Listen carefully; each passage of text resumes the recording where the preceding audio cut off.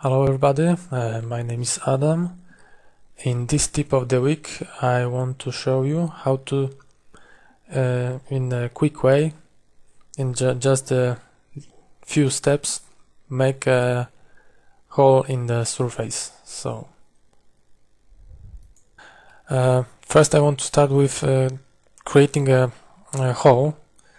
It's really fast and efficient way to create some hole in the object so just let me convert this polygon this uh, cube to editable poly and grab the polygon. Uh, I'm gonna bevel this inside like that. Now use the tessellation delete that grab the uh, border cap select this polygon. It looks like that for now.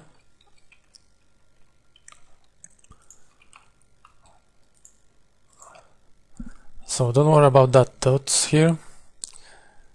And now let me use the geopoly. It the geopoly will create from this plane a nice sphere.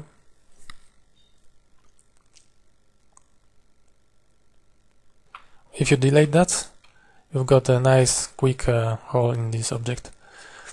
Also sometimes uh, these techniques creates, uh, as you see here, uh, some artifacts. We can get rid of this uh, by uh, just, let me turn this back. If you use the grow, retriangulate that, it will repair the object in a proper way. So now you can delay that or uh, model this like that. So this is nice and quick way to model anything you want so. And uh, if you need some uh, to be this uh, uh more uh, like round and uh, smooth so all you need to do and just show you let me create this here. like you use this bevel again yes? And now when you use tessellation just tessellate this uh, like three times. And now delete it again. Cap this. Use geopoly grow. And retriangulate. Now you have a better sphere round and smooth.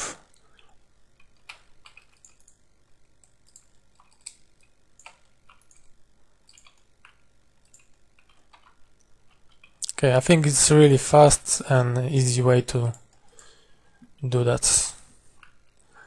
Also you can uh, these techniques uh, really nicely works on uh, round surfaces.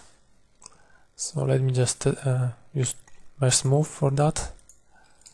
And let's say I want here some to be some uh, nice hole. Yes so again uh, I'm gonna bevel this.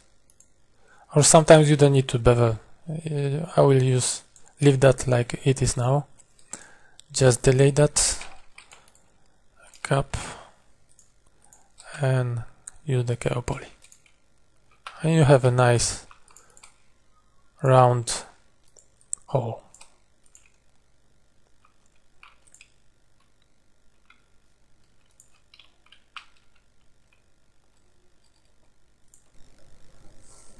And also I want to talk a little bit about uh, chamfers. So let's create some box and a little bit model it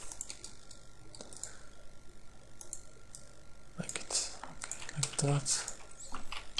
And let's say here I want to have some round chamfer. Now if I create here chamfer and let's say define this to 5 it create this kind of artifact. To get rid of this just before you do the chamfer for now uh, delete this edge and now create the chamfer after that just create the connection and you've got a nice round chamfer so maybe uh, most of you already know how to do this but for people that don't know it's this tutorial uh, from things that I mostly use to speed up my modeling I'm using also some of these tools uh, here. Uh, let's let me show you. For example uh, this. Let's convert it to the poly. Let's say tessellate it. Um, so sometimes you just want to grab this uh, loop like like this and for example now you want to uh, deselect this line. So uh, instead of doing this uh, like that just press this uh, loop mode and now press it uh, once again. And it will dis deselect uh, all at once.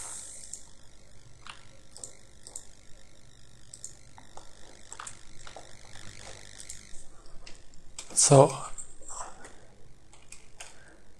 so I hope you enjoyed that uh, tutorial and it was uh, useful and